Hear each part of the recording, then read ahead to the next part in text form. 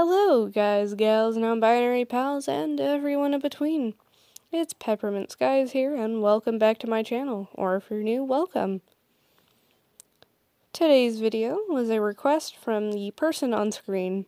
Thank you so much for requesting something from me. It makes me really happy to see that people enjoy my videos. They requested a Deku X Little Space YN and so I shall give what they wish to receive. I have two stories here today, one from Wattpad and one from Tumblr. I will put links in the description below per usual.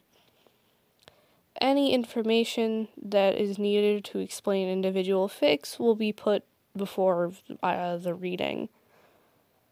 With that said, please enjoy the video. The first story is a chapter in a little space book on Wattpad. The chapter is called Baby You? I can do that.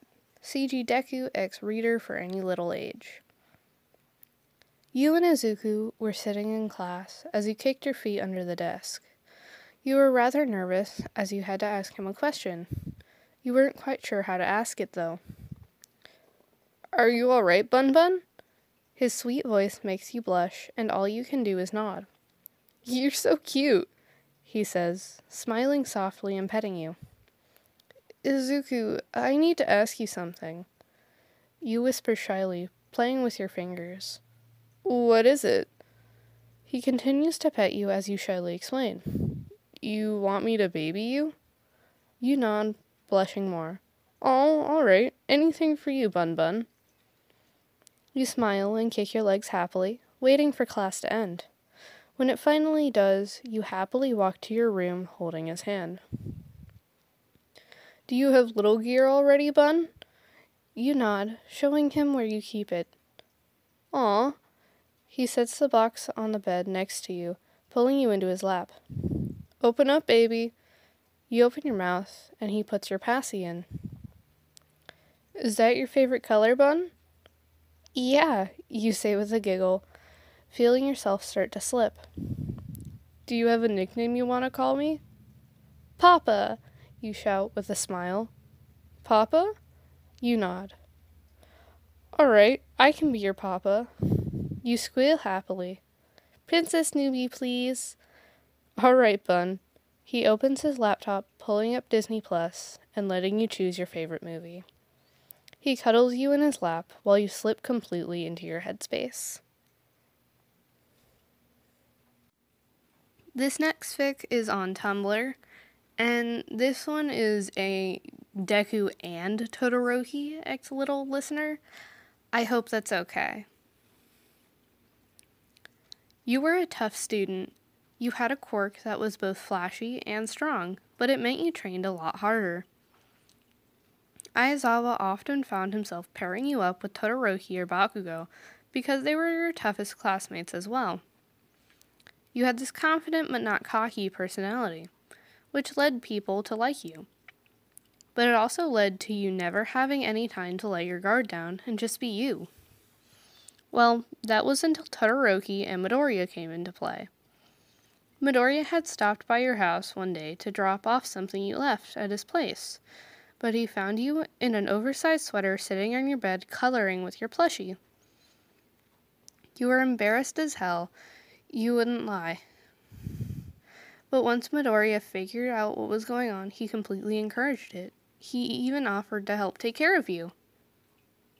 So for a while, it was Midoriya taking care of you, helping feed you, giving you all the affection you need, playing with you, helping with big people tasks just making you feel loved in general.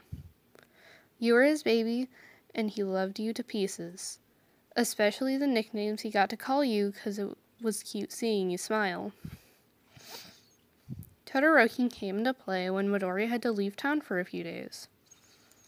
Midoriya reassured you Todoroki was going to be the best temp caregiver ever Todoroki was fine with doing this because one, Midori was paying him, and two, Todoroki wanted to know what you were like when regressed.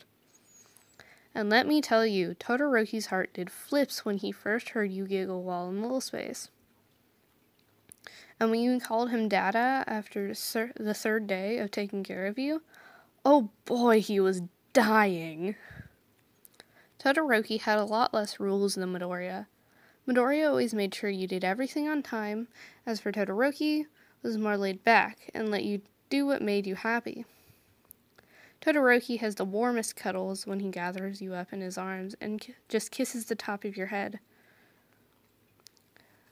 When Midoriya got back, they both had both decided to co-take care of you. Midoriya was daddy, and Todoroki was dada.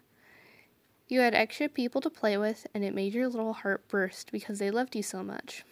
Honestly, Todoroki is still surprised by the difference of little space you and Big U.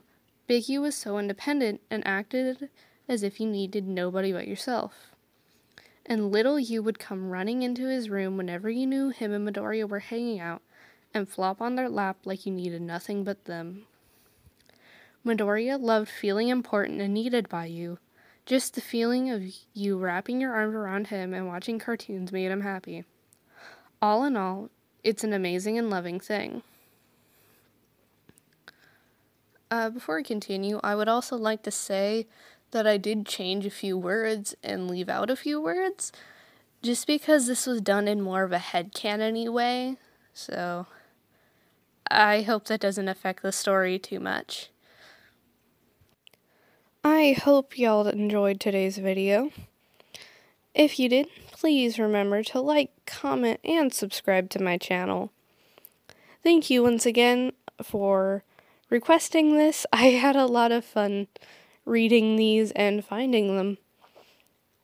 As I said in the beginning, links will be in the description below, so please go check out the original works. I did stumble on my words a little bit here and there, and I go between saying your name and YN, but that's okay.